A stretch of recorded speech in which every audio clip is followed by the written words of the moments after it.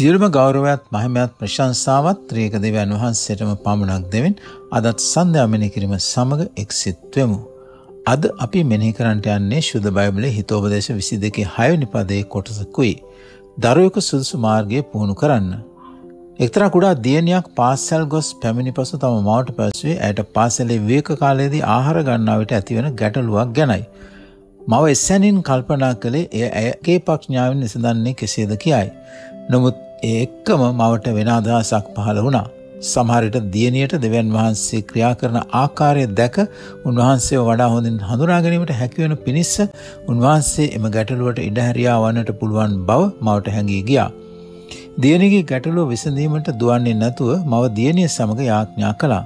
මවගේ උදවුන් නැතුවම ගැටලුව විසඳුනා. මේ සිද්ධිය විසින් දෙවියන් වහන්සේ දියණියට සලකන බවත් ඇගේ යාඥා අසන බවත් උන්වහන්සේ යාඥාට පිළිතුරු දෙන බවත් කුඩා දියණිය දැනගත්තා.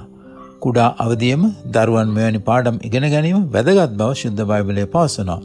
හිතෝපදේශ විසි දෙකේ හයනි පදය කියන්නේ දරුවෙකු සුදුසු මාර්ගෙහි පුහුණු කරන්න එවිට ඔහු වයස්ගතව කළත් එයින් අහක්ව නොවන්නේ යනුවෙනුයි. ක්‍රිස්තුසාන්සිසා උන්වහන්සගේ බලය ගැන අපගේ දරුවන් දැනුම්මත් කළ විට ඔවුන් මුලාව ගිය විටක ආපසු හැරී ඊමට ස්ථානයක් එයින් අපි ඔවුන්ට ලබා දෙට යනවා. එමෙන්ම ඔවුන්ගේ ජීවිතය පුරාම ආත්මික වර්ධනය පිණිස පදනමක්ද අපි ඔවුන්ට ලබාදෙන්ට යනවා. දරුවෙකු තුළ ඇදහිල්ල වර්ධනය කරන්නේ කෙසේ දයි කල්පනා කරමු. ස්වවාධර්මය තුළ දෙවියන් වහන්සේගේ කර්මාන්තයක් වෙත දරුවාගේ සිත යොමු කරමු. උන්වහන්සේ අපට උපකාර කළ ආකාරය ගැන කතාවක් දරුවාට කියා දෙමු. නැතිනම් යමක් හරියට සිද්ධ වුණු කල දෙවියන් වහන්සේට අප සමඟ ස්තුති කිරීමට එන ලෙස දරුවාට ආරාධනා කරමු.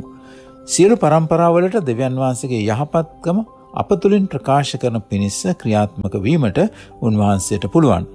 අපි මෙනෙහි කරමු. අපි අද දවසේ ක්‍රිස්තුසහන්සේ උදෙසා ජීවත්වීම කරන කොටගෙන අනාගත පරම්පරාවලට බලපෑමක් එල්ල කළ හැකි වනු ඇති. අපි ආඥා කරමු ප්‍රේමණිය දෙවියන් වහන්ස ඊළඟ පරම්පරාව තුළ ඇදිලිවන්තයන් බිහි කළ මැනව ඔබහන්සේතර විශ්වාසය තැබීමට ඊළඟ පරම්පරාවේ අය ධෛරිමත් කරන්නේ කෙසේ දැයි අපට පෙන්වා දුන මැනව ආමෙන්.